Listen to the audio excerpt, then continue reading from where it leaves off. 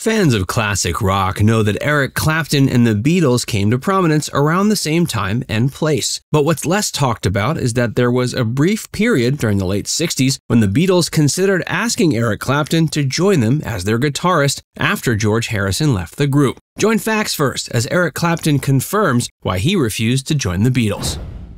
The Beatles only had a few prime years.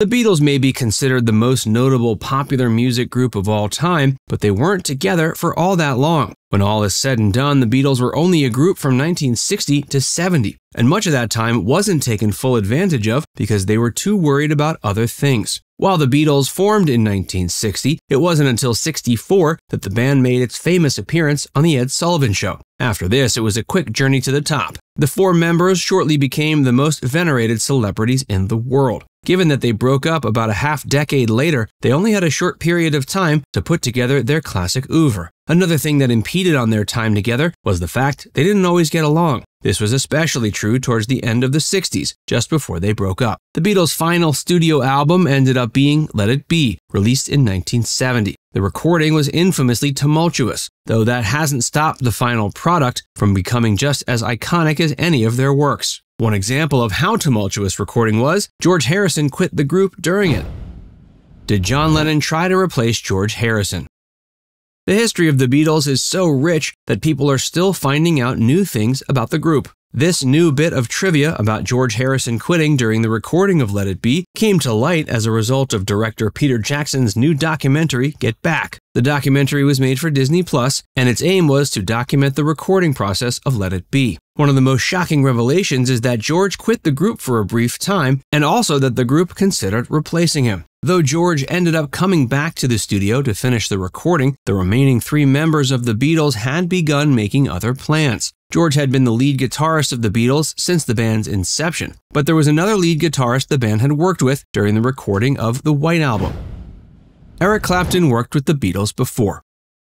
Beatles fans likely are already aware that it's not George Harrison playing the lead guitar on the track While My Guitar Gently Weeps. Though it was written by George and features him on both rhythm guitar and vocals, there was another musician called into the studio to provide lead guitar, Eric Clapton. He already had a relationship with the band thanks to coming out of the same music scene. It's easy to listen to the track without realizing that it's not George doing the lead guitar work, though the inclusion of Eric certainly makes it special. Given the chemistry he had with the Beatles already, it should come as no surprise that he was the first person that the three remaining members thought of when looking for a replacement for George Harrison. Eric would have made the perfect replacement, but things didn't end up going that way, thankfully. Still, if George hadn't come back, Eric has claimed in the years since there was no way he would have stepped on his good friend's toes by taking his place in the Beatles. Before we tell you more, be sure to give this video a like and subscribe to Facts Verse if you haven't already.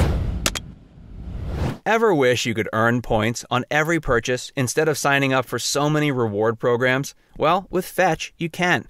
Fetch is a super easy to use free app where you earn free rewards on literally anything you buy.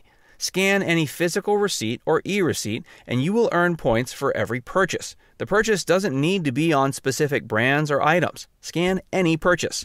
Even if you have receipts that are up to two weeks old, you can scan them and start earning points. After you scan, you can redeem those points for hundreds of rewards, including Amazon, Visa, Starbucks, GameStop, and Walmart gift cards. Fetch is 100% free and so easy to use. Check out the link in the description, download the app now, and use the code FACTSVERSE to get 5,000 points when you scan your first receipt. This is a limited time offer for FactsVerse viewers, so be sure to check it out now. Eric wasn't willing to replace George.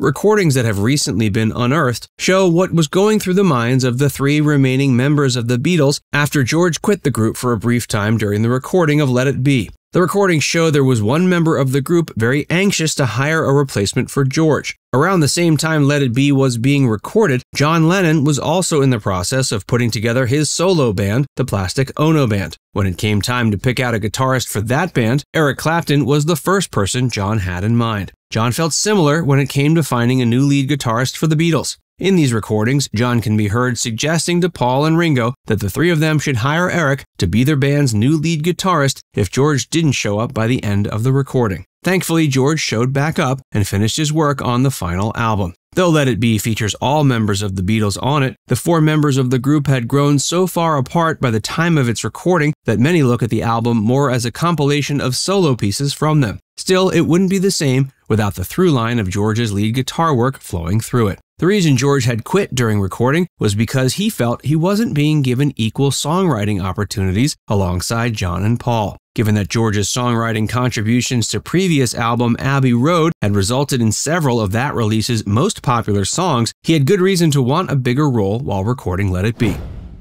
Let It Be became an excellent swan song.